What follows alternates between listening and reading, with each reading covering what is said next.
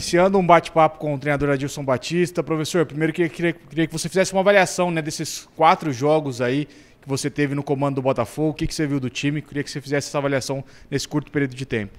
Bom dia ao nosso torcedor. É, dizer que nesse período aí de, de 15 dias, esses quatro jogos, você entra no processo de observação, conhecimento, dia a dia. Infelizmente, a gente teve que ter alguns devidos cuidados em, com carga de treinamento.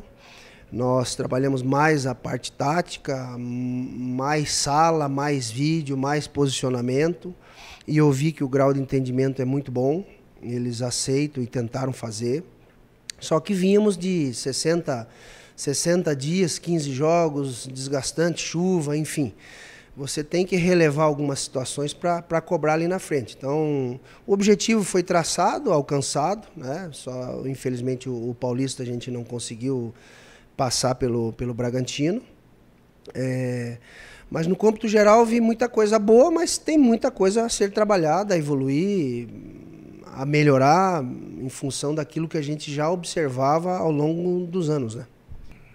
Bom, professor, agora são praticamente 30 dias de trabalho, né, para você poder conhecer melhor os atletas. Como é que está esse planejamento aí para a estreia, né, na Série B e também a terceira fase da Copa do Brasil? Evidente que eu gostaria de ter passado pelo Bragantino, mas confesso que estou feliz com o tempo de, de, trabalho que nós teremos. Né? Até o dia 12 é, do 4, que é a Copa do Brasil. As inscrições no dia 4, então precisa chegar esses atletas até o dia 4 para a gente se reforçar dentro daquilo que foi planejado.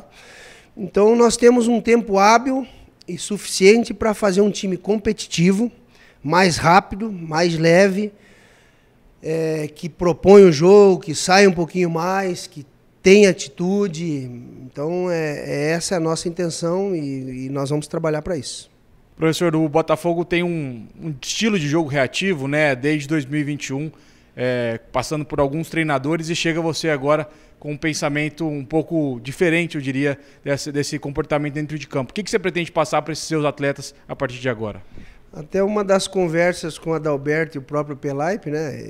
Eu, eu gosto muito do, do 4-3-3, eu gosto do ponto, do extremo, né?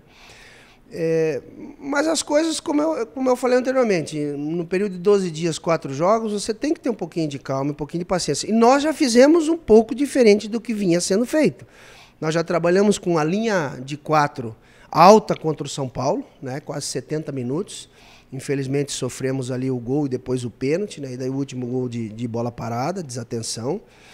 Já contra o São Raimundo a gente propôs o jogo, saiu, enfrentou, finalizamos 20 vezes contra o São Raimundo, né?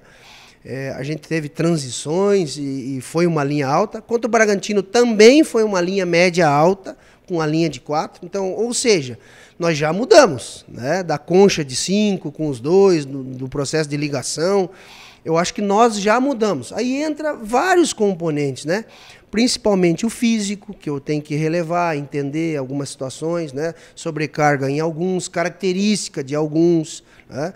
eu conhecer alguns melhor para colocar no jogo. Então, é, eu, eu, peço um pouquinho de paciência, ali na frente pode nos cobrar um time mais intenso e melhor preparado. Professor, eu queria que você falasse para o torcedor o que esperar dessa Série B do Campeonato Brasileiro, um campeonato muito difícil, são 38 jogos aí, o que o torcedor pode esperar do Botafogo nessa competição? É que ele espere um time extremamente competitivo, brioso, que vai defender as cores do Botafogo, vai jogar com muita garra, ter personalidade, vai ter objetivo dentro da competição. Nós sabemos da importância. O ano passado já joguei com Londrina, com cinco grandes clubes e, e tivemos um enfrentamento de, de igual para igual, quase classificamos. E eu acho que o importante é todos nós unirmos. Então, atleta e arquibancada e direção. Tá todo mundo com o mesmo pensamento. Então eu desde já agradeço. Jogo domingo São Paulo, casa cheia. Jogo contra o São Raimundo, 11, 12 mil pessoas.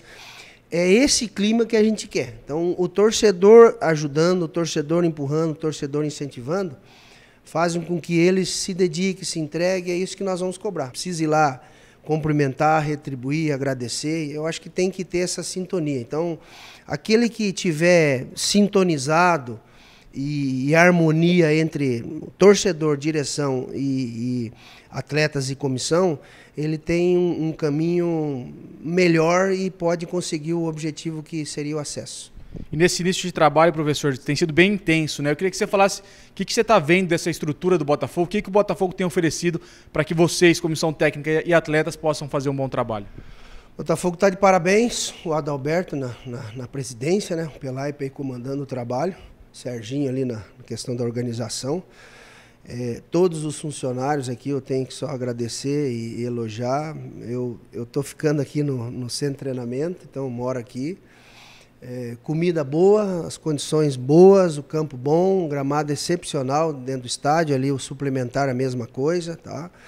Então estou muito contente e a gente já já explanou e mostrou aí para os atletas o nosso objetivo, aquilo que nós temos em mente agora com muito trabalho. Então vamos aproveitar esse tempo para trabalhar realmente e fazer um time forte, competitivo, que a gente consiga o objetivo no final da temporada.